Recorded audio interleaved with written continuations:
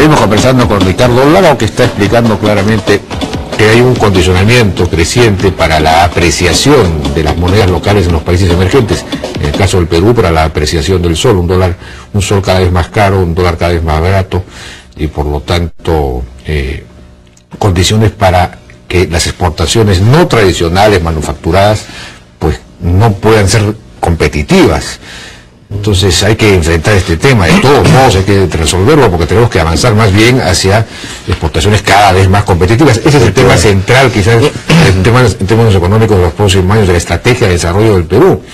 Entonces, la solución que propone Ricardo Lago es un fondo soberano de riqueza que supone ahorrar eh, un superávit fiscal, digamos, de 5%, 6% del, del PBI. Bueno, dependiendo del precio de, la- de la- de los metales y de, de- de- Dependiendo del precio de los metales. dependiendo del precio de los metales. Es decir, que, que haya una especie de línea de tendencia y las desviaciones sobre esa línea de tendencia se ahorran. ¿Qué es lo que hicieron, lo que hizo eh, Luis Carranza y, eh, y Julio Velarde del, del año 2005 al 2008? ¿no? Pero dice, ya estamos con, con eh, Luis Castellera. eh, vamos a suspender un eh, ratito la, la entrevista con eh, Luis. ¿Ya estamos? Ah, todavía no estamos.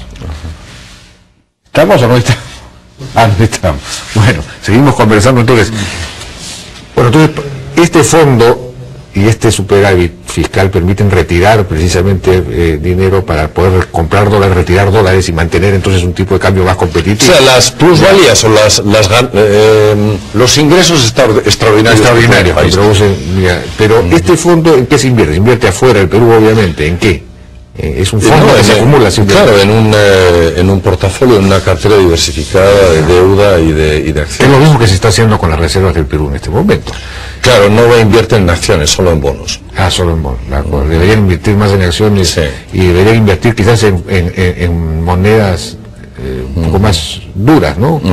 Para que te hagas una idea, por cada 100 dólares que sube la onza Troy de oro, el Perú sube en 660 millones de dólares. y el oro va a seguir subiendo no Y el- yo hice el pronóstico en tu programa de 1.200 antes de mayo de este año y 1.500 antes de final del 2011 y estamos a 1.360, hemos llegado hasta 1.365. Y, Bueno. y vamos, vamos en ese camino. Luego hay otro tema de a qué ritmo debería de crecer el sector, el sector minero. Es un tema también eh, y qué fiscalidad tendría que tener. eh, eh, yo no digo los convenios de estabilidad tributaria y, o sea lo, que ya la normativa que existe para las inversiones del pasado donde había un riesgo país alto etcétera eso se debe de respetar a, a futuro nuevas concesiones eso es otro tema de acuerdo bueno necesitamos hacer infraestructura para mejorar la competitividad y me